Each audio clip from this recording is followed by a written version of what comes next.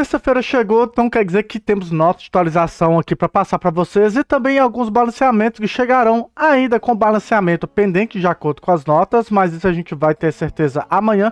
E gostaria de bater papo com vocês sobre a importância do balanceamento dos personagens aqui em Sanctuary Awakening. Sejam todos bem-vindos a mais um vídeo do canal do NEM e bora!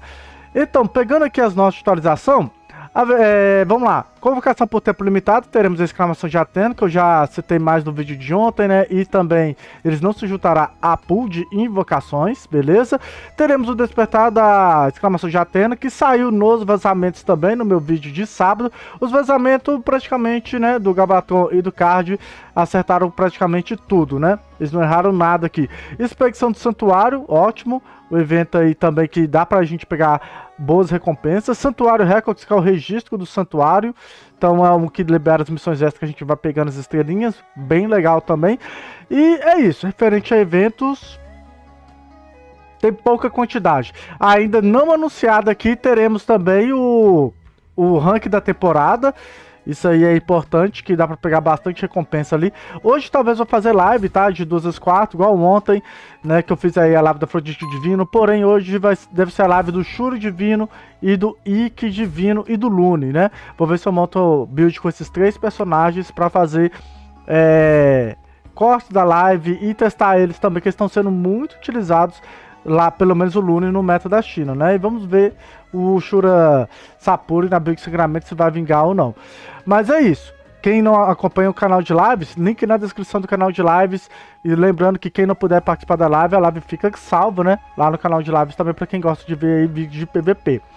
Então, referente a eventos é isso, sem nossas perguntas, sem nossas respostas, que eles já esqueceram também tem muito tempo. E aí chegou os balanceamentos de personagem. E foi o balanceamento que chegou aí há uma, duas semanas atrás, o servidor chinês. E o que que chegou? Sangue Divino de Radamantes, né? É o nosso radinho aqui, né? O Rada SD, também conhecido para os mais íntimos. E cadê aqui o Rada SD? Rada SD.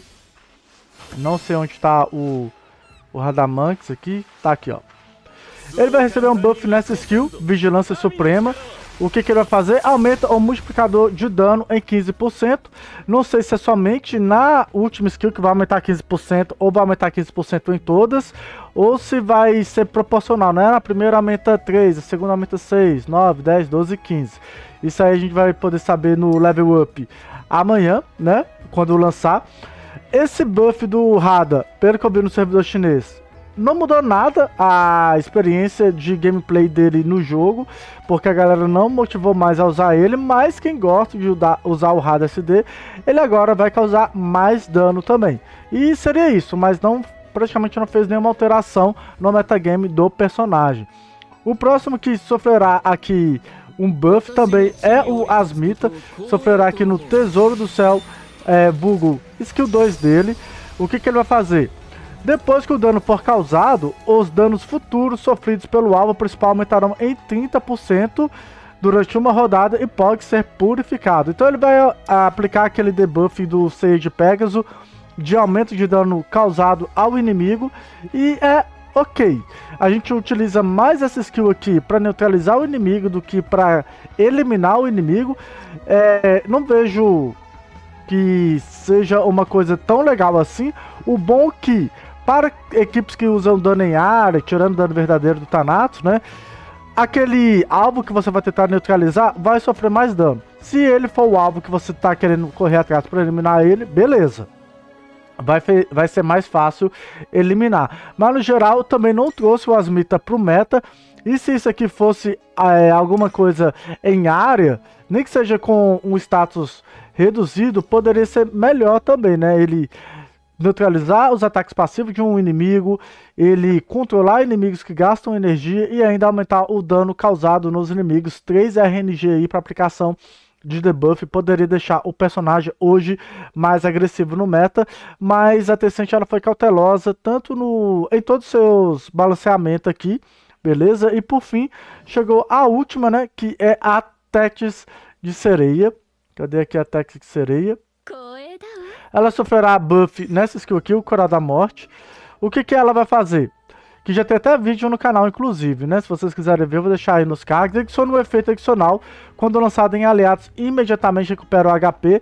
Então, quando você lançar isso daqui no aliado, ela já vai, o aliado vai recuperar a PV, mesmo se for tipo uma Saori que só usa habilidades de suporte que deveria ser petrificado. Mas obviamente você não vai fazer isso na Saori, né? A Saori, embora eu acho que ela não petrifica. Mas enfim, na Juni, por exemplo. Porque embora ela vai ser curada naquela vez, na próxima rodada, na hora que ela ativar a trepadeira, vai ser petrificada. Beleza? E, mas é mais legal é nos inimigos. Quando lançado, é, quando lançado sobre inimigos, vai ter uma chance de acerto de status de 50%, mais acerto de status, de petrificar o alvo por uma rodada. Então, em inimigos, ela vai petrificar o inimigo sem. Tipo assim, independente se ele usou ataque ou habilidade de suporte. Obviamente, é melhor em personagens com habilidade de suporte, mas também dá pra fazer o inimigo, tipo, tem alguns inimigos que dão bait, você coloca no Hipnos, vai o inimigo dar um ataque básico com o Hipnos. Então, é. Pra evitar esses tipos de bait do inimigo, ela já tem essa garantia de petrificar já no momento que ela ativa a skill. Aí depois o inimigo decide se ele vai atacar e curar ou usar habilidade de suporte e petrificar. É legal. Né, o que tá faltando aqui nela, que não foi anunciado, é o buff que ela vai ter com o Poseidon, que ela aumenta o dano do Poseidon, ela já aplica o coral do Poseidon também, e que se ela. Se o Poseidon falecer, ela que falece, se eu não me engano. É uma vibe meio Verônica com Thanatos, né? O, o, o outro buff que ela não recebeu na sua skill 3, não anunciado ali. Não sei porque a Tencent, a, a, tá, como fala? Tencent não, né? A GT não tá aplicando esse buff, porque o Poseidon nem é um personagem tão OP assim pra fazer ele ficar quebrado por causa disso. Se ela desse duplo turno pro Poseidon automaticamente, aí sim, Poseidon poderia ficar mais viável, mesmo assim eu acho que não ficaria meta, porque você tá com uma Tex, né, em campo, então né? Mas enfim, mas acho que ele poderia receber um duplo turno com a Tex em campo. Mas é isso, galera. Esses aí foram os buffs. E agora eu gostaria de comentar com vocês, bater um papo sobre esses balanceamentos. O balanceamento eu acho que é muito importante no game. Eu vivo martelando isso aqui, mas eu sei que o balanceamento também, acredito que a Tencent não faz, para não ter que investir em personagens antigos e tipo, personagens antigos. Ah, eu já tenho aqui, por exemplo, Pô, meu Poseidon tá 4, 4, 4, 5, né? Então, se vem um buff aí no Poseidon, é quase certo que eu não vou gastar livros azuis nele. É uma forma de pensar da empresa, mas acredito que se viesse um buff aí pro Poseidon, quantos jogadores ainda não investiram no Poseidon? Quantos servidores novos não, é, não investiram no Poseidon porque já sabe que ele é um personagem flopado? Então, por isso que eu. Se eu trabalhasse né, no, no planejamento da Tencent, eu iria sim trabalhar com balanceamento de todos os personagens. Para mim, todos os personagens têm que ter uma estratégia, no mínimo, pontual para algum combo. Por exemplo, que a gente pode citar aqui alguém com estratégia pontual, a própria Pandora, né? Que hoje voltou aí pro meta, né? Graças aí ao Afrodite Divino, ela tá conseguindo aí é, cauterar um pouco o Afrodite Divino, sabe? Então, alguns personagens eu acho que seria muito interessante eles darem uma mexida assim, só que deveria ser mais agressivo. Todos esses três buffs que receberam os personagens foram muito sem impacto, né? Então, tipo, o Shura causou um impacto legal, o Shura Sapuri, que eu estou dizendo, que ele é, começou a aplicar aí triplo turno. Obviamente foi sincronizado com o lançamento do Afrodite Divino, esse triplo turno já era planejado, né? Já que eles deve ter três personagens já pronto. Tipo assim, ele já deve ter os personagens de agosto, setembro pronto, saca? Então na hora que eles decidiram fazer o Afrodite, eles falaram, ah, vamos fazer aqui um buff do Shura para dar triplo turno pra galera com aplicação de sangramento. E é um buff que é muito legal, né? Vamos, vamos falar a verdade, é um buff muito legal do, do Shura. E eu acredito que poderia arriscar mais e trazer mais buffs mais agressivos. Não tão pontual assim e com maior frequência também, que a frequência é muito baixa, poderia ser uma leque de balanceamento igual eu jogava muito Summoners War, né? Foi o primeiro jogo mobile desse estilo que eu joguei, do Sanctuary Gacha. E ele tinha, tipo assim, balanceamento cada 3, 4 meses, só que, tipo, tinha 900 personagens, né? O Summoners War. Deve ter mais de mil já. E era, tipo, 100 personagens, 200 personagens que tinha alterações. Só que lá tinha nerf, né? Aqui não tem nerf. No, praticamente no Sanctuary Awakening.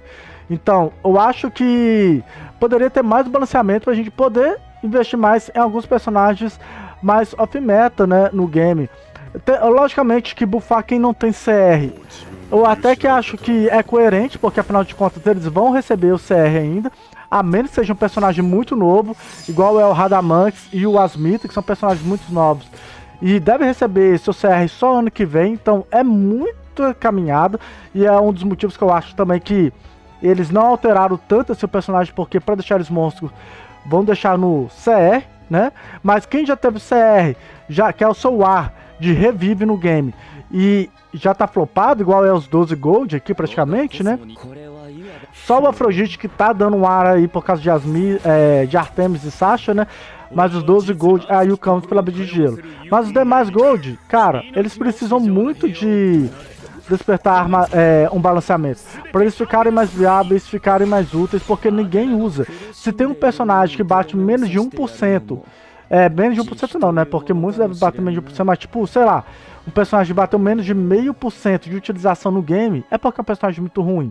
E um balanceamento poderia fazer essa alteração aí, e eu sou super a favor disso. Eu sei que tem essa estratégia que, ah, se a gente buffar aqui o nosso Poseidon, se nós bufarmos aqui o nosso Shura clássico, muitos jogadores já têm eles bem investidos e não vai mudar muito o meta, principalmente o Shura né? Porque a gente já ganha ele de graça também aí no game. Mas isso seria legal para os jogadores usarem mais o personagem, vai trazer o personagem mais pro meta, incentivando que os jogadores usem aquele personagem, todo personagem novo, incentiva a gente a gastar mais nosso tempo em duelos galácticos, né? Isso aí é bem legal, mesmo que não gastamos financeiramente, mas teremos mais tempo de jogo, isso é muito importante para a empresa ter tempo de jogo dos jogadores, então quanto mais balanceamento a gente testando. Ah, teve 10 buffs de uma vez só. Quanto tempo que eu vou demorar para testar esses 10 buffs, para montar combos com esses 10 buffs, saca? De personagens diferentes. Então aumenta muito o tempo de jogo e eu acho, né? Eu acho, na minha opinião, não sei se isso tá muito coerente, eu acho na minha opinião. Mas na minha opinião, isso aí tá errado no, no planejamento da Tecente. Eu sei que o porquê que eles fazem isso, conforme eu falei pra vocês, né? Melhor eles vestir personagens novos do que antigos. Porém, também acredito que é uma falha. Eles não de deixaram os personagens antigos para trás e não incentivar que a gente jogue com eles e deixar eles bem descartados, né? Mas é isso, esse aí é meu ponto de vista referente ao balanceamento. Mas aí, qual personagem que vocês mais gostariam de ter balanceamento? Comenta aí top 3 personagens que você gostaria muito que fosse bufado e chegasse aí no meta, beleza?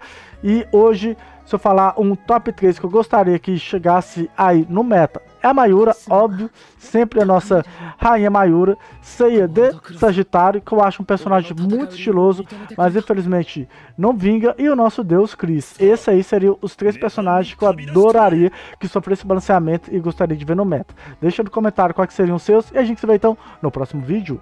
Fui!